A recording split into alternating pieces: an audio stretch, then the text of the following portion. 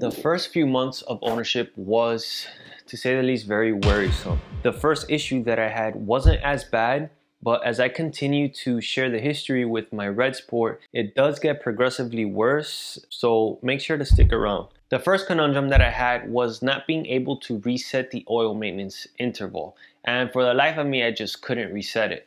And being that this car was and still is a certified pre-owned vehicle, I wanted to make sure everything got fixed under warranty before I started modifying it. So around late February, I took the car into the dealership that I purchased it at and the service advisor told me that the ECU had to be replaced. So I waited about two days for the ECU to arrive from Japan and I picked up the car and everything was perfectly fine. A couple weeks later, I started hearing my belt squeaking very faintly. So I took it to my local dealership to perform the TSB.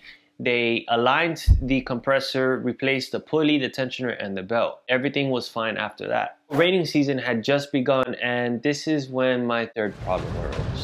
So whenever it would start raining, my A-pillar would start getting wet in two spots to the point where it would drip down to the floorboard. So I took it into my local dealership and they told me that the sunroof drains were clogged. However, this isn't something that is taken care under warranty. So after talking to them, going back and forth out of courtesy, they took care of me and I didn't have to pay anything out of pocket. Now, I took it back home after it was cleaned. A few days later, it started raining and yeah, it started dripping again. So this is when everything just starts becoming a complete nightmare.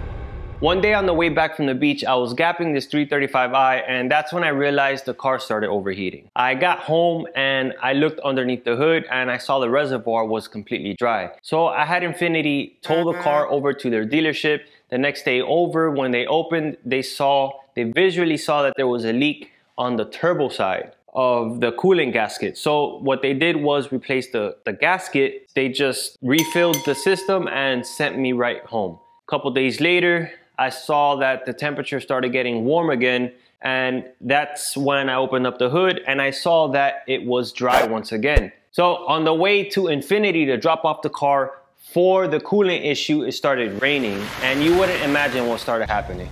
The A-pillar started getting wet once again. At this point, I'm very upset and I dropped the car off at the dealership and I'm trying to keep my composure, but you can tell by the frustration in my voice that this is going for way too long. So what they did was keep the car overnight and they kept the systems under pressure to make sure that there wasn't any more visual leaks and to see if the pressure dropped. And to our surprise, they didn't find anything. What they told me was that the coolant levels fluctuate, which is normal, which I know coolant expands under heat, but this time it's just completely vanishing. It's going below the minimum. I also asked them if they bled the system and they said yes. The mechanic himself told me that he bled the system properly. So being that the car's bumper has been off so many times, I had them replace the bumper clips. At the end of the day, the bumper clips didn't even help because the bumper itself was worn out at the tabs. And in regards to the supposed sunroof leak, what they did was realign the drains and they passed it through the car wash and they couldn't replicate the dripping. At this point, I just ended up taking the car and a few days later, it started overheating once again. I was so upset that I've taken the car to Infiniti multiple times for the same problem. And after they told me that it's fixed when in fact it never got fixed. And I just told myself I'd never take my car back to that dealership ever again. And to this day, I haven't.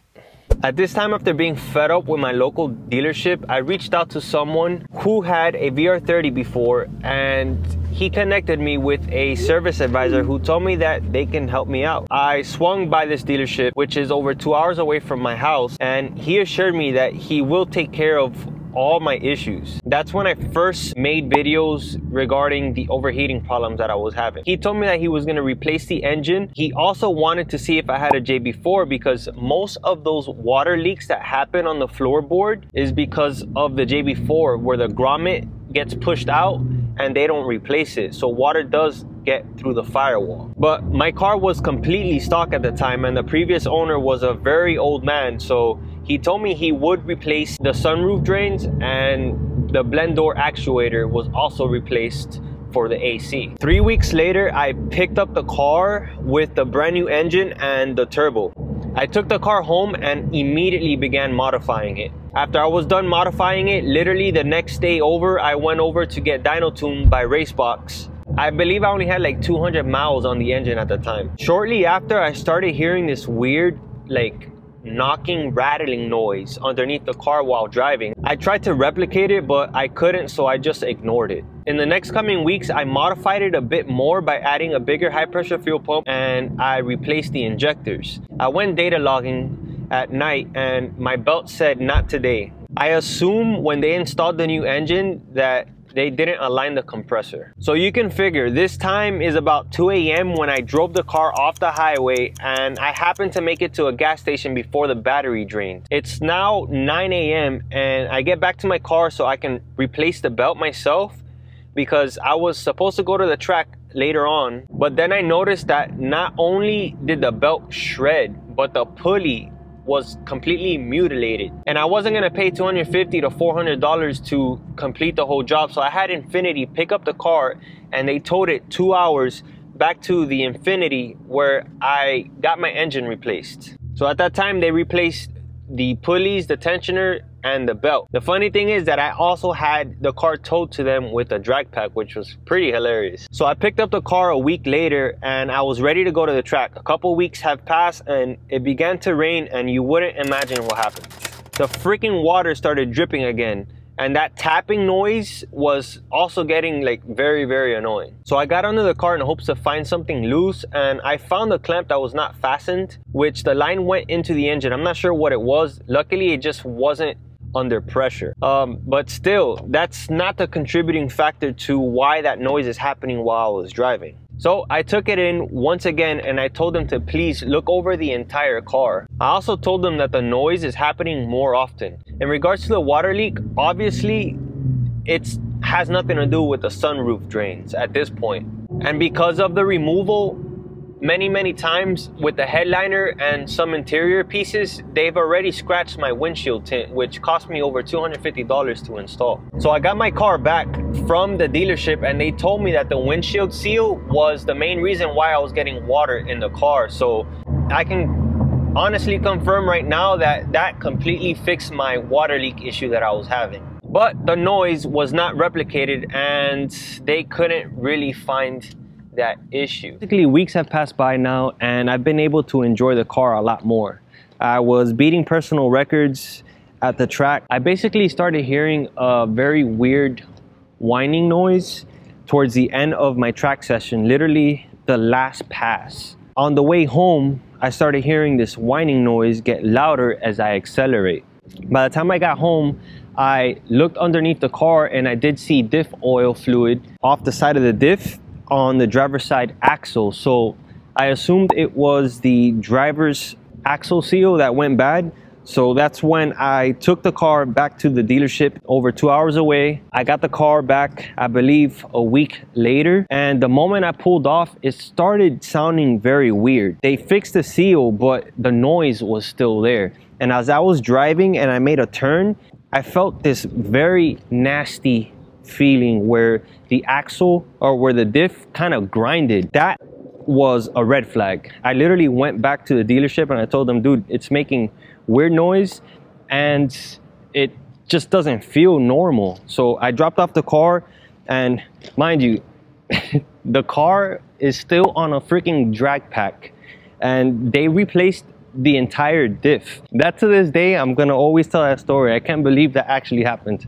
Where I went in there with Mickey Thompson's and a Forgestar uh, drag pack to get my diff replaced. So a week later, I picked up the car and it drove like a dream. It literally drove like it's a brand new car. So I decided to get home because that weird knocking, tapping, whatever noise was still happening. So I decided to get under the car and while I was lifting up the car, I noticed that they freaking curbed my knees Nismos. I was so upset.